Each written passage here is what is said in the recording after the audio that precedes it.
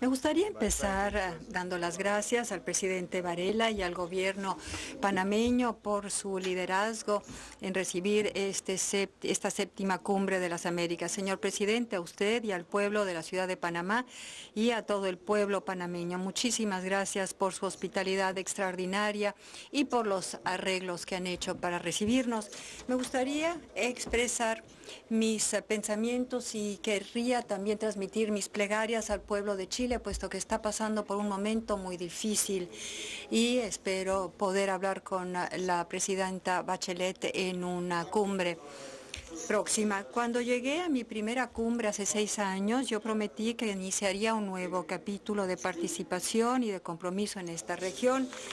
Yo opinaba que nuestras naciones tenían que liberarse de los viejos argumentos, los viejos resentimientos que demasiado a menudo nos atrapaban en el pasado, que teníamos una responsabilidad compartida de mirar hacia el futuro y de pensar y de obrar en maneras nuevas y actualizadas. Yo me comprometí a construir una nueva era de cooperación entre nuestros países como aliados en pie de igualdad en base a intereses y respeto mutuo. Y también declaré que este nuevo enfoque sería sostenido a lo largo de mi presidencia y en efecto ha sido así, incluyendo este último año. Yo he cumplido con ese compromiso. Nos reunimos aquí en un momento histórico.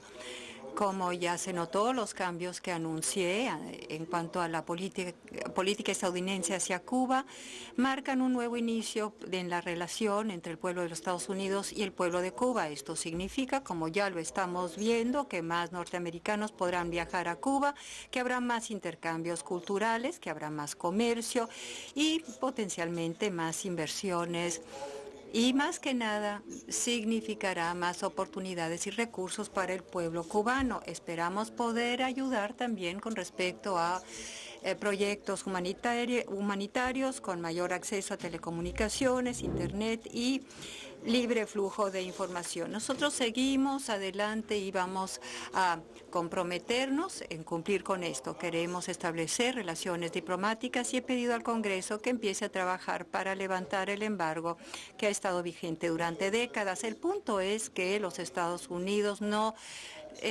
no serán prisioneros del pasado. Más que nada miramos hacia el futuro y las políticas que mejorarán las vidas del pueblo cubano y podrán promover los intereses de la cooperación en este hemisferio. Este cambio en la política estadounidense representa un punto de inflexión para toda la región. El hecho que el presidente Castro y yo estemos sentados aquí eh, es un momento histórico. Es la primera vez en más de medio siglo que todas las naciones de las Américas están juntos y mm, hablando de nuestro futuro conjuntamente. Tampoco es secreto que el presidente Castro y estará de acuerdo que nosotros eh, tendremos diferencias significativas entre nuestros dos países. Nosotros seguiremos hablando a nombre de los valores universales que a nuestro entender son importantes y estoy seguro que el presidente Castro seguirá hablando de los temas que para él revisten importancia. Pero también creo firmemente que si seguimos avanzando y aprovechamos de este impulso buscando nuestros intereses comunes, entonces las relaciones mejores entre Estados Unidos y Cuba crearán nuevas oportunidades para la cooperación a lo largo de la región, para la seguridad, la prosperidad, salud y la dignidad de todas de nuestros pueblos. Y junto con este cambio de relación con Cuba, los Estados Unidos han profundizado su compromiso en las Américas de manera generalizada. Desde eh, que pasé a la presidencia hemos fomentado las exportaciones de Estados Unidos de casi un 50% y eso ha fomentado muchos trabajos y cientos de trabajos e empleos en nuestro continente. También he propuesto mil millones de dólares para ayudar a los pueblos de Centroamérica para poder fortalecer el gobierno, un buen gobierno, mejorar la seguridad y fomentar el crecimiento económico. Nosotros queremos ayudar a los jóvenes que no ven perspectivas en economías eh, subterráneas que llevan a la violencia. Estamos estableciendo alianzas con países también para poder eh, crear energía nueva, renovable y asequible para poder enfrentarnos al cambio climático, de lo cual hablaba la presidenta eh, Youssef. Tenemos una iniciativa llamando de los 100.000 en las Américas. Es una iniciativa que promoverá el que vengan 100.000 estudiantes a estudiar a los Estados Unidos de Latinoamérica y 100.000 que de Estados Unidos irán a Latinoamérica. Y las nuevas iniciativas que anuncié en Jamaica podrán empoderar a nuevas generaciones de jóvenes en las Américas con la formación y capacitación necesaria para competir en una economía global. En mis, en mis reuniones con SICA y CARICOM, al igual que las discusiones que he tenido con ustedes bilateralmente, hay ideas y, adicionales que nos interesan para poder de tal manera eh, mejorar, ensanchar el, acceso a Internet y tener relaciones público-privadas para poder expandir nuestras, eh, nuestros vínculos comerciales con una base, digamos, mucho más amplia e inclusiva, porque creo sinceramente que todos tendremos éxito si todos se benefician del crecimiento económico y no solamente pocas personas que están arriba. En casa he tomado decretos ejecutivos para poder tratar de arreglar nuestro sistema inmigratorio tratando de ayudar a la gente a que salga a la luz del día para que puedan vivir y trabajar en el país que llaman su hogar, incluyendo a cientos de miles de personas que llamamos soñadores, que han recibido un alivio temporario y seguiré comprometido trabajando con el Congreso con respecto a la reforma inmigratoria. El punto final es este. Los Estados Unidos miran hacia el futuro. Nosotros no queremos estar atrapados en la ideología, por lo menos yo no lo estoy, me interesa el progreso y me interesan los resultados. No me interesan las argumentaciones teóricas, me interesa el poder proporcionar efectos tangibles para las personas. Nos hemos comprometido más que nunca eh, respecto a décadas pasadas en esta región. Los que me conocen saben que si ustedes me presentan un problema, yo haré lo mejor para intentar enfrentarlo, resolverlo. No podré arreglarlo de inmediato, pero haré lo posible. También opino que la relación entre los Estados Unidos y las Américas es tan buena como lo es, es la mejor que ha sido en muchas décadas. Estoy aquí para colaborar con ustedes y seguir edificando sobre este progreso. Quiero hablar de algunas áreas donde creo yo que podemos adelantar aún más. Ante todo, nosotros vamos a seguir defendiendo la Carta Interamericana eh, Democrática que asevera que los pueblos de las Américas tienen el derecho a la democracia. yo creo firmemente que nuestros gobiernos juntos tienen la obligación de respetar las libertades universales y los derechos de nuestros ciudadanos. De una vez más, quiero felicitar al presidente Varela y a Panamá por haber incluido a los grupos de la sociedad civil en esta cumbre como aliados formales. Creo que las voces de nuestros ciudadanos deben ser escuchadas y a medida que seguimos adelante deben ser una parte integral de estas cumbres. En segundo lugar, debemos centrarnos en volver a alimentar el crecimiento económico, reavivándolo para que haya mayor progreso en las ah, comunidades que no han sido alcanzadas. Para que las Américas sean más competitivas, tenemos todavía mucho trabajo para armonizar reglamentos, alentar buen gobierno, transparencia para atraer eh, inversiones, infraestructura, enfrentándonos a los retos que tienen que ver con el costo de la energía en muchas comunidades, especialmente en países de Centroamérica y en el Caribe, donde los costos son tan elevados. Esto presenta en sí un gran desafío para el eh, desarrollo económico y queremos centrarnos en los temas de energía limpia. También tenemos que enfrentarnos a los temas de la inequidad y la pobreza. Colectivamente comenzamos a identificar cuáles son los programas, los programas que funcionan y los que no. Debemos de invertir más en los programas que sí funcionan, dejando de hacer las cosas que no funcionan.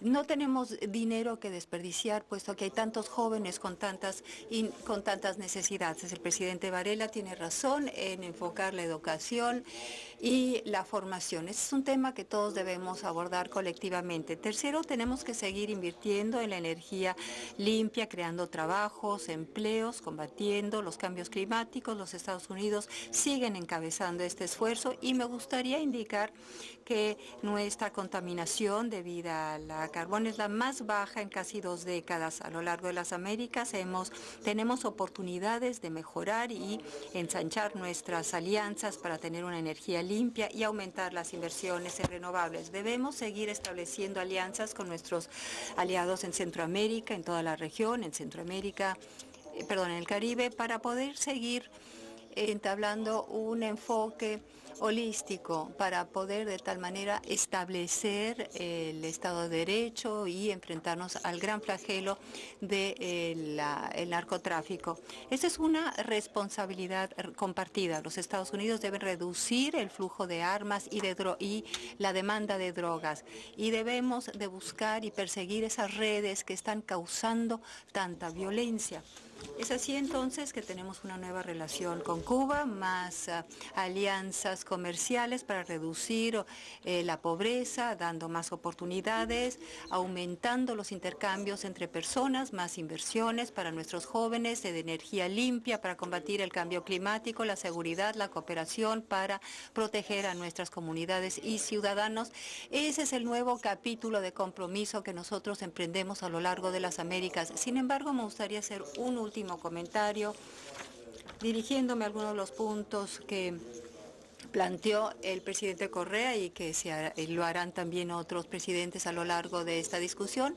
Me encantan las ah, historias y las, las, las, clases de historia que recibo aquí. Yo soy estudiante de la historia y en efecto, conozco varios de estos episodios que se han eh, mencionado. Soy el primero en reconocer que la, aplica la aplicación y de los Estados Unidos ante los derechos humanos no siempre ha sido congruente y consistente. Y estoy sumamente consciente del hecho que hay capítulos oscuros en nuestra propia historia en los que no hemos, en efecto, observado y cumplido con los principios y los ideales sobre los cuales se fundó nuestro país. Hace tan solo unas semanas estaba yo en Salma, Alabama, celebrando el, 50 aniversario de la marcha a lo largo del puente que tuvo como resultado em, de una violencia horrenda. Y la razón por la que estuve ahí fue la celebración, por el hecho que para mí fue el triunfo del espíritu humano. O sea, personas comunes y corrientes que no recurrieron a la, violencia pudieron sobreponerse a a la segregación sistemática, se escucharon sus voces y nuestro país se transformó. Nosotros no podemos reivindicar la perfección, sin embargo, podemos decir que nosotros tenemos una apertura hacia el cambio. Entonces tan solo les diría que nosotros podemos pasar mucho tiempo hablando de agravios y de injusticias pasadas y supongo también que es posible utilizar a los Estados Unidos como una gran excusa muy cómoda, muy de vez en cuando debido a los problemas políticos que podrían suceder a nivel nacional. Sin embargo, eso no es lo que va a aportar progresos, eso no es lo que va a resolver el problema de los niños analfabetas que no tienen que comer, no tienen suficiente comida y que y eso no hará que nuestros países sean más productivos y competitivos en una economía global. Entonces,